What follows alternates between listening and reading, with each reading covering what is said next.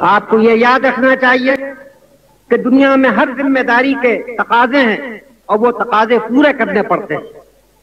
دنیا میں ٹھوکریں انہی کو لگتی ہیں کہ جو چلتے ہیں، جو پاؤں توڑ کر بیٹھ جاتے ہیں، انہیں کبھی ٹھوکر نہیں لگتی۔ گرتے وہی ہیں کہ جو دوڑیں گے۔ کانٹے انہی کے تلووں میں چپتے ہیں کہ جو دوڑتے ہیں۔ جب کل تک، جب تک کہ آزادی ہمارے ہاتھ میں نہ تھی، آپ کے ملک کا کیا حال تھا؟ وہ اپنی قسمت کا مالک نہیں تھا۔ اس کی قسمت دوسروں کے ہاتھوں میں۔ آپ کا امن بھی آپ کے قبضے میں نہ تھا۔ آپ کی بے امنی بھی آپ کے قبضے میں نہ تھی۔ جب کبھی ملک میں بد امنی ہوتی تھی، تو آپ اپنے طرف نہیں دیکھتے تھے، ان کے طرف دیکھتے جب آپ کو کوئی تکلیف و پریشانی ہوتی تھی، آپ ان کے آگے مجبور ہوتے تھے کہ اپنا ہاتھ بڑھائیں۔ لیکن آج وہ نہیں۔ آج اپنی قسمت کے آپ خود مالک ہیں۔ اور اگر آپ مالک ہیں اور میدان میں کھڑے ہوئے ہیں، تو یہ یاد رکھیے کہ طرح طرح کی آزمائشیں پیش آئیں گی۔ کوئی بھی نہیں چاہتا کہ اپنے کو آزمائش میں ڈالے۔ کوئی بھی نہیں چاہتا کہ غموں اور دکھوں میں اپنے کو ڈالے۔ لیکن اگر ہم نے ذمہ داری کا بوجھ اٹھایا ہے، تو طرح طرح کی پریشانیاں ہمیں پیش آئیں گی۔ اگر ہم میدان میں دوڑ رہے ہیں، تو قدم قدم پر ہم کو ٹھوکروں سے دوچار ہونا پڑے گا۔ اس سے ہمیں گھبرانا نہیں چاہیے۔ اس سے ہمیں اکتانا نہیں چاہیے۔ مرد بن کر ان تمام ذمہ داریوں کو اٹھانا چاہیے اور ان پریشانیوں کا مقابلہ کرنا چاہیے۔ اگر ایک زندہ انسان ہے اور اس کی رگوں میں گرم اور زندہ خون دوڑ رہا ہے، تب اس کے لیے بیماریاں بھی ہیں، ٹھوکریں بھی ہیں، مصیبتیں بھی ہیں، ہر طرح کی پریشانیاں بھی ہیں۔ تو زندگی کا معنی یہی ہے کہ ہم بوجھ اٹھائیں اور بوجھ اس طرح نہ اٹھائیں کہ گھبرائے ہوئے اٹھائیں، مردوں کی طرح ہمت کے ساتھ اٹھائیں۔ مسلمان ہوں اور فخر کے ساتھ محسوس کرتا ہوں کہ میں مسلمان ہوں۔ اسلام کی تیرہ سو برس کی شاندار روایتیں میرے ورثے میں آئی ہے۔ میں تیار نہیں کہ اس کا کوئی چھوٹے سے چھوٹا حصہ بھی ضائع ہونے دوں۔ اسلام کی تاریخ، اسلام کی تعلیم، اسلام کے علوم و فنون، اسلام کی تہذیب، میری دولت کا سرمایہ ہے اور میرا فرض ہے کہ میں اس کی حفاظت کروں۔ دہشت کے مسلمان ہونے کے میں مذہبی اور کلچرل دائرے میں اپنی خاص ہستی رکھتا ہوں۔ میں برداشت نہیں کر سکتا کہ اس میں کوئی مداخلت کرے۔ تیئیس مارچ انیس سو بیالیس کے بابے بیرون دہلی دروازہ لاہور میں لاکھوں مسلمانوں کے ایک عجیب اجتماع سے جب میں نے خطاب کیا تھا، تو مجھے انیس سو اکیس کا زمانہ یاد آ گیا جبکہ میں نے جمعیت العلماء کی صدارت کی تھی۔ میں آپ کو یہ بتانا چاہتا ہوں کہ اس وقت میرے عزم و ریمان کی جو صورت تھی، اس میں اب تک ذرہ بھر تبدیلی نہیں ہوئی ہے۔ وقت کے تقاضوں سے بعض باتوں میں تو تبدیلی ہو سکتی ہے، لیکن جن چیزوں کی بنیاد ہی ٹھوس عقیدے اور حقیقت پر وہ نہیں بدلتے میں نے اٹھارہ برس کی عمر میں سوچ سمجھ کر ایک فیصلہ کیا تھا، چنانچہ اب تک اس پر قائم ہوں۔ میں آنکھوں سے دیکھ رہا ہوں کہ میرے سامنے چراغ جل رہا ہے۔ اگر بیس لاکھ انسان بھی مجھے یقین دلانا چاہیں کہ چراغ نہیں جل رہا تو میں ایک مستقل حقیقت سے آنکھوں کو بند کرنے کے لیے تیار نہیں ہوں۔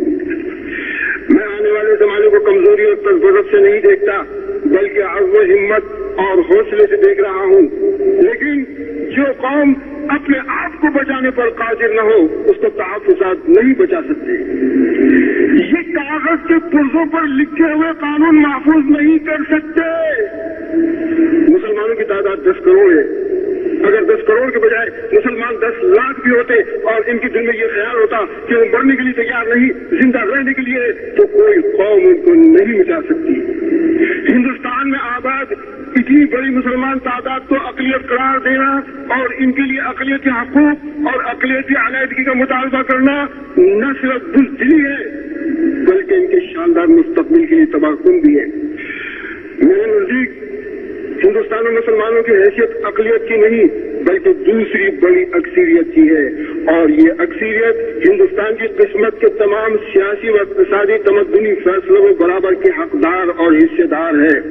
بس میری جگہ کمزوری اور تجربہ کی نہیں، بلکہ یقین اور ایمان کی ہے۔ لیکن اگر اتنی بڑی تعداد یعنی دس کروڑ ہوتے ہوئے بھی تم یہ خیال کرتے ہو گے فنا ہو جاؤ گے، مٹ جاؤ گے، تو اس کا کیا علاج؟ ہے کہ دس کروڑ لاشوں کو کوئی تحفظ اور کوئی دستور نہیں بچا سکتا۔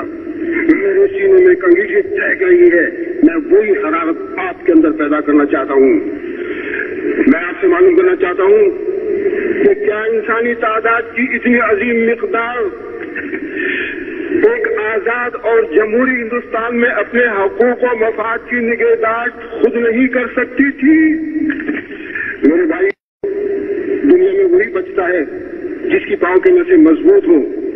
میں آپ کو آئندہ نقشوں کے بھرنے سے نہیں روکتا، لیکن آل انڈیا کانگریس کی صدارت کے دو برس میں میں نے جو کوششیں کی اور مسلمان لیڈروں نے جس طرح انہیں ٹکرایا، اس کے بیان کرنے کا یہ موقع تو نہیں۔ لیکن آپ کی یاد دہانی کے لیے مجھے پھر دہرانا پڑتا ہے کہ جب میں نے مسلم لیگ کی پاکستانی اسکیم کے تمام پہلوؤں پر بہت کچھ غور کیا، تو اس نتیجے پر پہنچا ہوں کہ پورے ہندوستان کے لیے اس اسکیم کے جو بھی نقصان ہے وہ اپنی جگہ۔ لیکن مسلمانوں کے لیے تجویز سخت تباہ کن ثابت ہوگی۔ اس سے ان کی کوئی مشکل حل ہونے کے بجائے مزید مشکلات پیدا ہو جائیں گی۔ اول پاکستان کا لفظی میرے نزدیک اسلامی تصورات کے خلاف ہے۔ پیغمبر اسلام صلی اللہ علیہ وسلم کا ارشاد ہے کہ اللہ تعالیٰ نے تمام روز زمین کو میرے لیے مسجد بنا دی۔ اس روئے زمین کو پاک اور ناپاک کے درمیان تقسیم کرنا ہی اسلامی تعلیمات کے منافی ہے۔ دوسری یہ کہ یہ پاکستان کی اسکیم ایک طرح سے مسلمانوں کے لیے شکست کی علامت ہے۔ ہندوستان میں مسلمانوں کی تعداد دس کروڑ کے اندر ہے اور وہ اپنی زبردست تعداد کے ساتھ ایسی مذہبی و معاشرتی صفات کے حامل ہیں کہ ہندوستان کی قومی و وطنی زندگی میں پالیسی اور نظم و نسق کے تمام معاملات پر فیصلہ کن اثر ڈالنے کی طاقت رکھتے ہیں۔ پاکستان کی اسکیم کے ذریعے ان کی یہ ساری قوت و صلاحیت تقسیم میں ضائع ہو جائے گی۔ اور میرے نزدیک یہ بدترین بزدلی کا نشان ہے کہ میں اپنی میراث پدری سے دست بازار ہو گئے چھوٹے سے ٹکڑے پر قناعت کر لوں۔ میں اس مسئلے کے دوسرے تمام پہلوؤں کو نظر انداز کر کے تنہا مسلم مفاد کے نقطۂ نگاہ سے بھی غور کرنے کے لیے تیار ہوں۔ کہ اگر پاکستان کی اسکیم کو کسی طور پر بھی مسلمانوں کے لیے مفید ثابت کر دیا جائے، تو میں اسے قبول کر لوں گا اور دوسروں سے اسے منوانے پر اپنا پورا زور صرف کر ڈالوں گا۔ مگر حقیقت یہ ہے کہ اس اسکیم سے مسلمانوں کے جماعت اور ملی مفاد کو ذرا بھی فائدہ نہ ہوگا اور نہ ان کا کوئی اندیشہ دور ہو سکے گا۔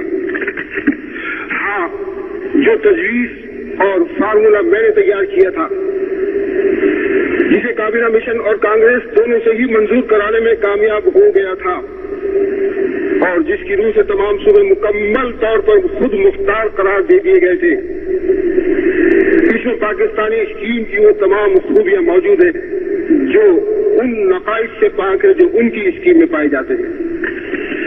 اب آپ ذرا جذبات سے بالا تر ہو کر اس کے ممکنہ نتائج پر غور کریں۔ ہندو اکثریت کے علاقوں میں کروڑوں کی تعداد میں یہ مسلمان، مگر بہت چھوٹی چھوٹی اقلیتوں کی صورت میں پورے ملک میں بکھر کر رہ گئے۔ اور آج کے مقابلے میں آنے والے کل میں وہ اور زیادہ کمزور ہو جائیں گے۔ جہاں ان کے گھر بار اور بود و باش ایک ہزار سال سے چلی آ رہی ہے، اور جہاں انہوں نے اسلامی تہذیب و تمدن کے مشہور اور بڑے بڑے مراکز تعمیر کیے۔ ہندو اکثریت کے علاقوں میں بسنے والے یہ مسلمان ایک دن اچانک صبح کھلتے اپنے آپ کو اپنے گھر اور وطن میں پردیسی اور اجنبی پائے گئے۔ صنعتی تعلیمی اور معاشی لحاظ سے پسماندہ ہو گئے اور ایک ایسی حکومت کے رحم و کرم پر ہو گئے جو خالص ہندو راج بن گئی۔ پاکستان میں خواہ مسلمانوں کی مکمل اکثریت کی حکومت ہی کیوں نہ قائم ہو جائے، اس سے ہندوستان میں رہنے والے مسلمانوں کا ہرگز حل نہیں ہو سکے گا۔ یہ دو ریاستیں ایک دوسرے کے مد مقابل بن کر ایک دوسرے کی اقلیتوں کا مسئلہ حل کرنے کی پوزیشن میں نہیں آ سکتی۔ اس سے صرف یرغمال اور انتقام کا راستہ کھلے گا۔ میرے بھائیوں آپ کو یاد ہوگا کہ وقت جون انیس سو چالیس میں کانگریس کی صدارت سنبھالنے کے بعد جب میں نے ہندو مسلم اختلاف کے تصفیے کی غرض سے بحیثیت صدر کانگریس مسٹر محمد علی جناح صدر مسلم لیگ کو یہ تجویز بھیجی تھی کہ ہندوستان کے تمام صوبوں اور مرکز میں کسی ایک پارٹی کے وزرات کے بجائے کانگریس اور مسلم لیگ پر مشتمل مخلوط وزرات بنائی جائے لیکن مسٹر جناح نے میری تجویز یہ کہہ کر مسترد کر دی کہ تم کو کانگریس نے شوبوائے کی طرح کانگریس کا صدر بنایا ہے۔ اس لیے میں تم سے کسی طرح کی گفتگو نہیں کرنا چاہتا ہوں۔ اور برابر کی سطح پر ہندو، مسلم تصویر کا وہ موقع جس طرح ہاتھ سے نکل گیا، میں آج تک یہ سمجھنے سے قاصر رہا ہوں کہ غیر تقسیم شدہ ہندوستان کی پہلی حکومت جو چودہ ارکان پر مشتمل ہوتی اور جس میں سات مسلمان نمائندے ہوتے اور سات غیر مسلم نمائندے۔ جن میں ہندو سے تو ہوتے۔ اسلام اور مسلمانوں کے کون سے اہم مفاد کے پیش نظر مسٹر جنہ کے لیے قابل قبول نہیں تھی؟ کیا اس طرح مسلمانوں کو ہندوستان کی پہلی حکومت میں ایک معقول حصہ نہیں مل رہا تھا؟ میرے بھائیوں میں آپ کو اس واقعے کی روشنی میں یہ بتانا چاہتا ہوں کہ جب لارڈ ویل کی جگہ لارڈ ماؤنٹ بیٹن ہندوستان کے آخری واسرائے مقرر ہو کر آئے اور انہوں نے دھیرے دھیرے سردار پٹیل، جواہر لال نہرو، گاندھی وغیرہ کانگریسی رہنماؤں کو تقسیم کا نظریہ قبول کر لینے پر آمادہ کر لیا۔ میرا آخر تین جون انیس سو سینتالیس کو ہندوستان کو دو ریاستوں میں تقسیم کر دینے کی تجویز کا اعلان کر دیا گیا۔ میرے بھائی، یہ اعلان دراصل نہ تو ہندوستان کے مفاد میں تھا، نہ مسلمانوں کے مفاد میں، اس سے صرف برطانوی مفاد کی حفاظت مقصود تھی۔ اس لیے کہ ہندوستان کی تقسیم مسلمان اکثریت کے صوبوں کی الگ ریاست قائم کر دینے سے برطانیہ کو بر صدیر میں اپنے پاؤں ٹکانے کا موقع حاصل ہو جاتا تھا۔ ایک ایسی ریاست جس میں مسلم لیگ کے نام سے برطانیہ کے پسندیدہ افراد برسر ایک اقتدار آ جائیں گے، مستقل طور پر برطانیہ کے زیر اثر رکھی جا سکتی تھی۔ اور اس کا اثر ہندوستان کے رویے پر بھی پڑنا لازمی ہوگا۔ ہندوستان جب یہ دیکھے گا کہ پاکستان میں انگریزوں کا اثر ہے تو وہ اپنے یہاں بھی انگریزوں کے مفاد کا لحاظ رکھے گا۔ آخر کار چودہ اگست انیس سو سینتالیس کو ہندوستان تقسیم کر دیا گیا۔ پاکستان اور ہندوستان کی دو آزاد ریاستیں وجود میں آ گئیں، جو یکساں طور پر برطانوی کامن ویلتھ کی ممبر بننے پر راضی ہو گئی اور پھر میرے بدترین خدشات صحیح ثابت ہونے لگے۔ ایک فرقہ دوسرے فرقے کا بدترین دشمن بن کر قتل عام غارت گری اور لوٹ مار کر اتر آیا۔ خون کی لکیروں کے ساتھ دو ملکوں کی سرحدیں کھچ جانے لگی اور افسوس، یہ مسلمان تقسیم در تقسیم ہو کر رہ گئے لیکن اب کیا ہو سکتا ہے؟ اب اگرچہ ہندوستان نے آزادی حاصل کر لی، لیکن اس کا اتحاد باقی نہیں رہا۔ پاکستان کے نام سے جو نئی ریاست وجود میں آئی ہے، جس میں برطانیہ کے پسندیدہ افراد کا برسر اقتدار طبقہ وہ ہے جو برطانوی حکومت کا پروردہ رہا ہے۔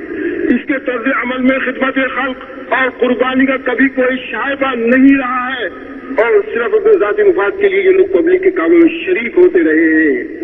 اور پاکستان کے قیام کا صرف ایک ہی نتیجہ نکلا ہے کہ بر صغیر میں مسلمانوں کی پوزیشن کمزور ہو کر رہ گئی ہے۔ اور یہ ہندوستان میں رہ جانے والے مسلمان تو کمزور ہو ہی گئے ہیں۔ یہ ہندوستان میں رہ جانے والے کروڑوں مسلمان جو اب ابد تک ہندوؤں کے ظلم اور انتقام کا شکار رہیں گے، پاکستان کے بسنے والے مسلمان ان کی کوئی بھی مدد نہ کر سکیں گے۔ اور اسی طرح سے پاکستان میں بسنے والے مسلمان، جس معاشرتی، اقتصادی، کمزوری اور سیاسی پسماندگی کا شکار رہیں گے، یہ ہندوستان میں بسنے والے مسلمان ان کی کوئی مدد نہ کر سکیں گے۔ کیا یہ بات غور کرنے کی نہیں کہ جب تقسیم کی بنیادی ہندو اور مسلمانوں کے درمیان عداوت پر رکھی گئی تھی تو پاکستان کے قیام سے یہ منافرت ایک آئی شکل اختیار کر گئی ہے اور اس کا حل اب اور زیادہ مشکل ہو گیا ہے۔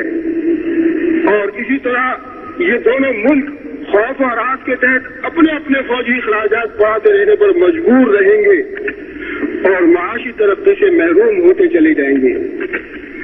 لیکن آج اگر میں ملامت کروں تو کس کو کروں؟ کروں اور کیوں کر کروں؟ اپنے بھائیوں کو، اپنے عزیزوں کو کس دیوار سے سر چکراؤں؟ آپ جانتے ہیں کہ مجھے کون سی چیز یہاں لے آئی ہے؟ میرے لیے شاہجہاں کی مسجد، اس یادگار مسجد میں یہ پہلا اجتماع نہیں ہے۔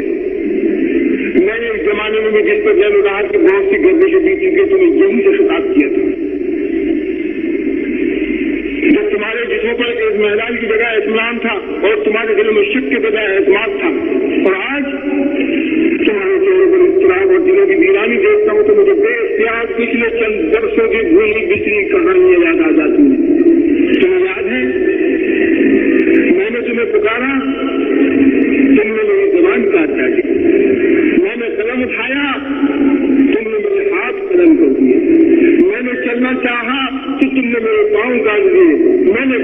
齐心协力